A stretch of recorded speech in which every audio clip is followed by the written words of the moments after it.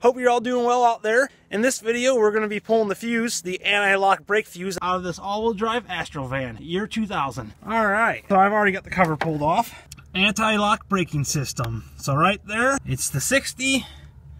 There we go. However, what happens when you pull the fuse out? Is the all-wheel drive system going to kick in or not? Well, that's a good question. We're going to go ahead and test that out right now. All right, guys, we got the van jacked up here.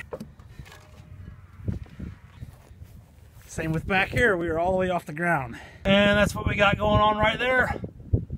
So we're just gonna see if with the fuse pulled out, if that kicks it off the jack stand right there. Without farther ado,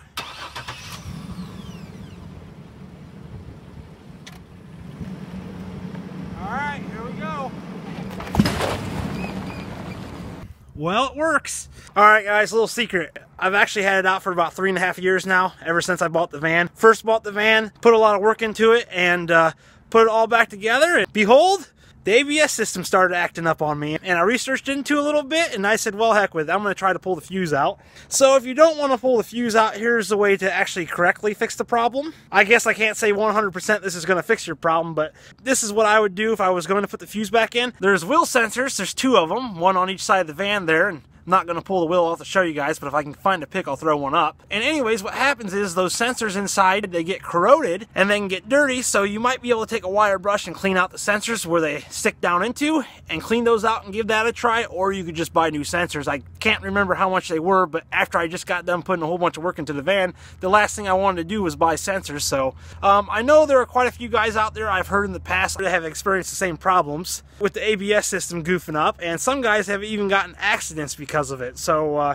and yeah, like I said earlier in the video, anything under 15 mile per hour, or even above for that sake, but really when you're cruising 5 mile per hour and you're stop and go traffic at the drive-through or at the stoplight or whatever, and you're going to stop and your brakes lock up and there's a car in front of you and you can't stop, that's a pretty scary feeling. So I eliminated the problem by pulling the fuse out. And like I said, it's been three and a half years now and I haven't had any problems.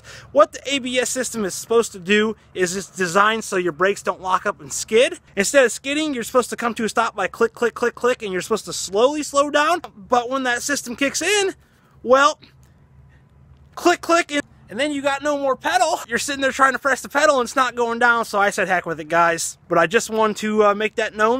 I haven't had any problems. I guess I have skid once in three years. But just make a mental note that if you do pull the fuse, that is what the system is there for. So, want to make you aware of that.